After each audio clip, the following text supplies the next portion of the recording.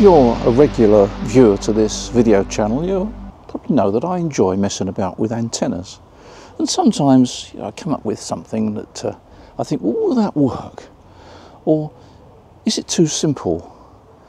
But something I came up with recently was something I've been trying um, in the garden here, and uh, it seems to work quite well. Now, I know a lot of you, particularly in summer months now, when it's not raining, of course, um, like to go out portable. Go down to the beach, set up a, an antenna on the beach, or park up beside the road somewhere, find some field where there's no noise, and uh, do some operation. Well, this particular antenna um, I rather like actually because it's self-supporting, doesn't need anything to support it. Um, well, it, that's not quite true. It does need a bit of support, but it's something you can put in the boot of your car. And it seems to work quite well. And I have been trying it out, and for me, it seems to work remarkably well. It's very simple. I get a good VSWR. Don't need lots and lots of radials. It's vertical, by the way. You might have guessed that. It's a vertical antenna, so it's self-supporting. Doesn't need lots and lots of radials. But I've had some great contacts on it. So let me tell you what I did. And also explain a very basic fault I made when I was doing some work on this antenna, which puzzled me for, for about 15 minutes or so. I went backwards and forwards and I thought, wait a minute, Peter, what a silly mistake to make. Let me show you what I did. I used the JPC12 portable antenna for this uh, test that I was doing. I did a video on this antenna uh, a few months ago and you can see me here assembling the antenna. You get the idea, it's uh, an antenna with a loading coil in the centre and you can adjust it for all bands from 10 metres right through to 40 metres. Ground mounted verticals normally need radials and uh, you need a number of radials and uh, just show you here my typical setup we've got the antenna and on the right hand side you'll see some grey radials which I normally use with this antenna it does take up a bit of space on the ground may be okay for some time sometimes but it may be an obstruction for people walking by but we've also learnt that the best place for radials is not on the ground but above the ground Apparently it doesn't have to be very far above the ground. There's quite a few papers on the internet which explain um, why radials don't have to be on the ground and the benefit of them not being on the ground. The benefit of them not being on the ground is you need less of them and you get a bit of a gain. Um, SteppIR have got an excellent paper about this if you take a look, but there are other papers as well. So it's common knowledge now that radials, although they work well on the ground, you need a lot of them get them off the ground and you need far less. In fact, uh, SteppIR claim, and it's backed up by some other papers, that you only need two radials. The catch is those radials have got to be resonant, but no matter. If you can get a bit of gain, is it too much of a problem to have resonant radials? Well, I think we can go one step further. We know that if we have a single radial, the antenna gets a little bit of gain in the direction of that radial. So I thought, well, let's see how we can achieve this in a simple way. Now, one of the problems I saw was the fact that it's not too difficult to put radials above the ground, except it means say you've got to raise the antenna. Now, if you're out portable, it means to say that you've got to have some sort of sort of stub mast in the ground and then put your vertical on top and then put your radials or your single radial on. That's a bit of a sort of a problem really. It adds complexity to it, complexity to it. So I thought, is there another way? Well, yes there is. Now, let me show you. This is my kit of parts with my JPC12 and the zoom analyzer. And you see that I've made a bracket for the base so that I can easily attach radials. Trying to shoot this video is a bit of a problem. Just turn the camera on and we've got a uh, plane going over. One of the problems with shooting videos when there's a little bit of outside and a bit of inside is that the weather is so unpredictable with this British summer we're having in 2024.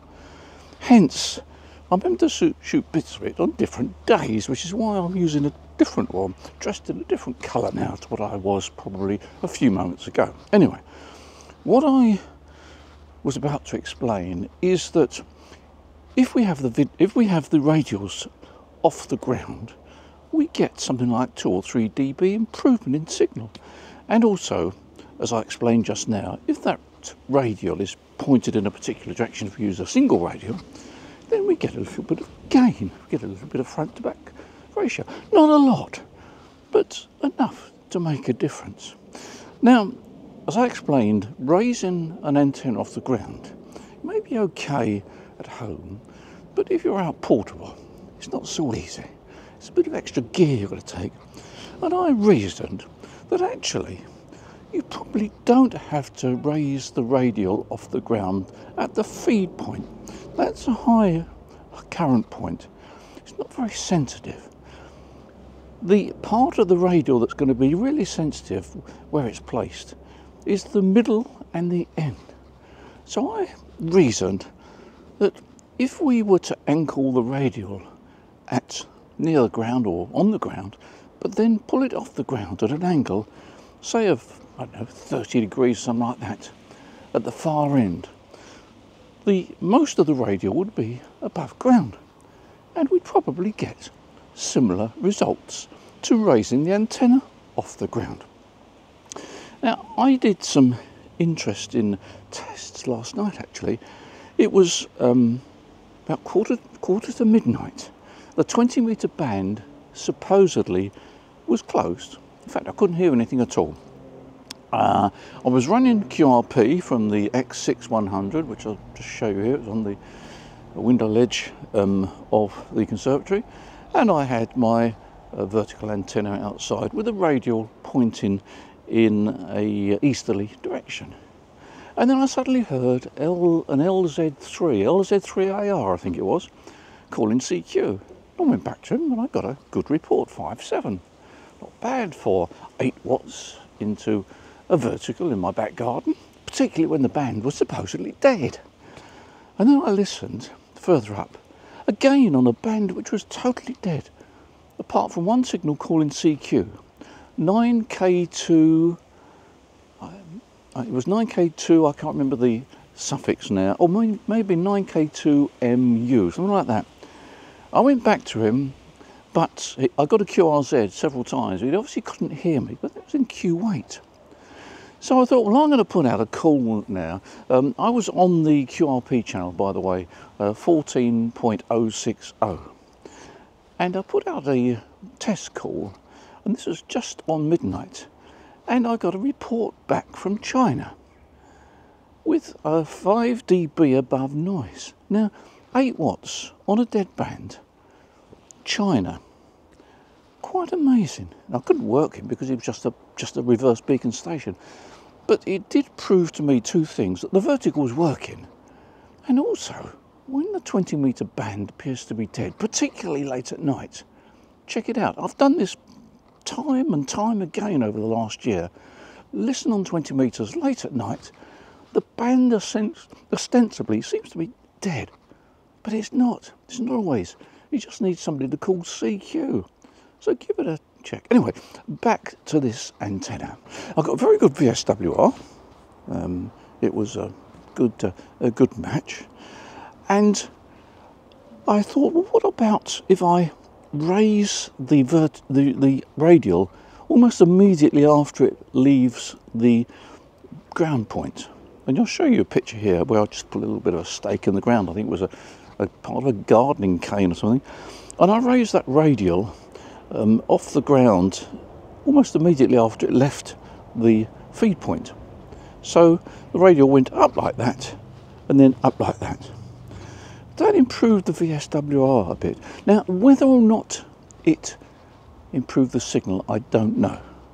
But it does show you that radials raised above the ground do work it's not too difficult to raise the radial above the ground, particularly if you're able to actually stick the vertical in the ground. Now, this idea is really for portable operation. You might want to check it out on your home station.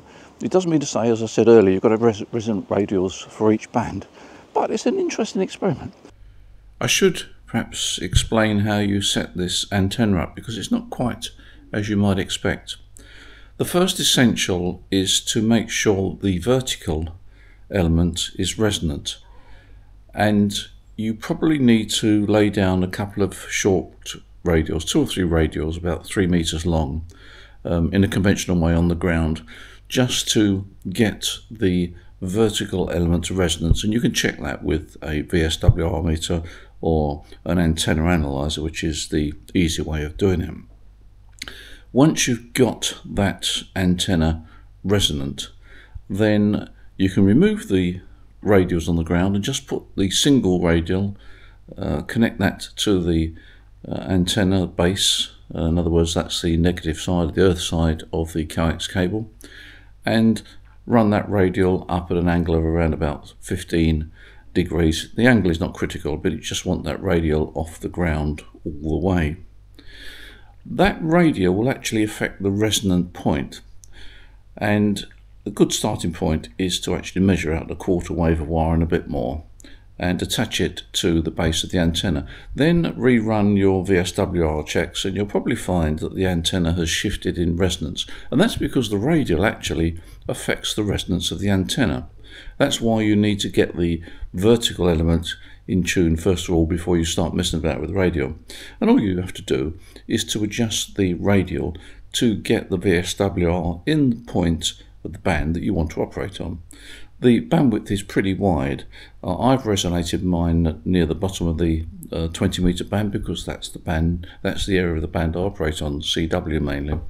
Um, but the radio will actually tune the antenna anywhere in the band and actually outside the band. So make sure you get that get that right. You get the length right to start with. And one quick tip about adjusting any wire antenna, um, such as uh, this radial, fold it back on itself to make it shorter and fold less back on itself to make it longer. Um, you don't need to cut it really once you've got the length just uh, unless, unless you've got a lot of wire folded back on itself uh, just put a cable tie around it and uh, job's done. Now a word of warning, in order for this system to work it's absolutely essential you insert a line isolator right at the point where the coax attaches to the base of the vertical. It's absolutely essential if you want to get good results. Now at the beginning of this video I said I made a mistake and here it is. If you look at this picture you'll see I mistakenly fitted the line isolator at the end of the coax run. I've got the coax coiled up when I was doing some tests but the, the line isolator is actually at the end of the coax run where it would go into the transceiver. I was getting all sorts of weird and wonderful readings on the VSWR meter. So get the get that right, get that line isolator in the right position, just at the point where the feeder attaches to the antenna. So give it a try, see how you get on, and you let me know what results you get. Well, there we are. Yes, let me know how you get on with this uh, antenna idea. It's just an idea. It's very simple, but uh, I was quite impressed with the results I got, and it's ideal for portable work. By the way, um, check our website. We uh, have been running a blog now for the last two or three months. The blogs tend to be a summary of some of the videos that we've done with some additional information, so it's worth uh, checking it out. To get to the blog, go onto our website, the front page, top left, there's a menu item there, click on that, and it'll take you to our blog. In the meantime, thank you for your support on this channel. Don't forget, forget to uh, press the subscribe button. That simply alerts you to when there's a, another video coming up. And thank you for your support at the shop and uh, ordering on the website. We've got a wide range of products. We've got some good prices. There's all sorts of bits and pieces tucked away on our website. You need to take some time to hunt around it. But it's interesting. So whether it's an accessory, a small accessory, or a new rig, or a new antenna, take a look, and we'll be happy to help you out. If you've got any questions, don't forget, ring one of our guys and chat over what you are thinking of buying, whether it's right for you, or if you've got a problem you want to solve, how do I fit this antenna, uh, what do I put it on, what rotator do I need, that sort of thing, give us a call. In the meantime, you take care, enjoy your ham radio, Look forward to seeing you in the next video. Bye for now.